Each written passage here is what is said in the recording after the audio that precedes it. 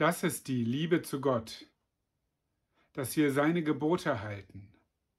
Und seine Gebote sind nicht schwer. Ihr Lieben, ich grüße euch zu einer neuen Folge von Morgenmut mit dem Lehrtext aus dem ersten Johannesbrief, Kapitel 5, Vers 3.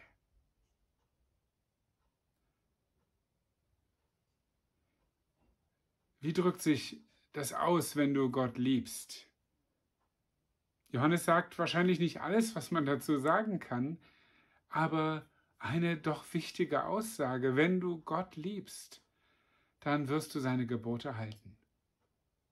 Jesus selbst hat mal gesagt, ja, ihr seid meine Freunde, wenn ihr tut, was ich euch sage. Und das, daran merkst du, dass die Freundschaft mit Jesus keine normale zwischenmenschliche Freundschaft ist. Wenn dein menschlicher Freund das zu dir sagt, dann ist ein bisschen Gefahr im Verzug.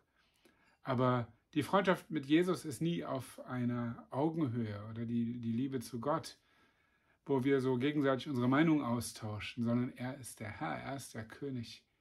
Und er zieht uns in Vertrauen, ins Vertrauen als seine Freunde, er nennt uns seine Geliebten.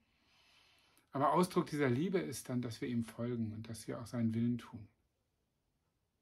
Und dann sagt Johannes noch was, und das ist vielleicht noch herausfordernder. Er behauptet einfach, seine Gebote sind nicht schwer.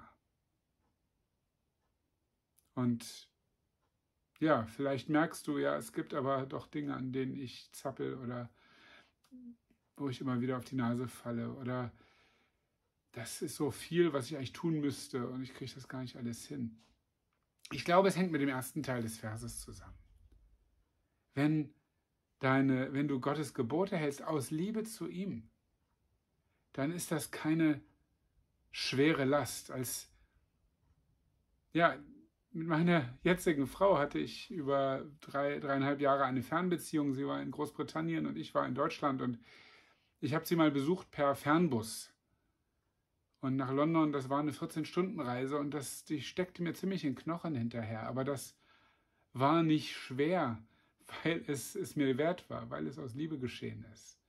Wenn jemand einfach so gesagt hat, fahr doch mal 14 Stunden Bus, hätte ich gesagt, ähm, du liebe Zeit, nein.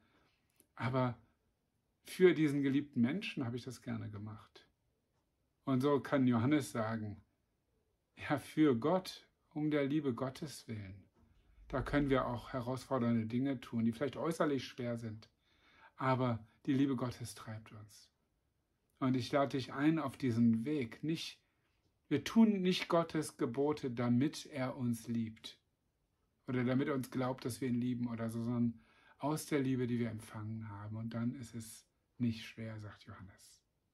Herr, wir danken dir, dass du uns liebst und dass du uns zuerst liebst, bevor wir irgendetwas getan haben. Und du leitest uns auf diesem Weg, wo es leicht wird, deinen Willen zu tun, weil wir mit dir in Liebe verbunden sind. Bete, dass wir das erfahren. Dazu segne du uns, Herr. Amen.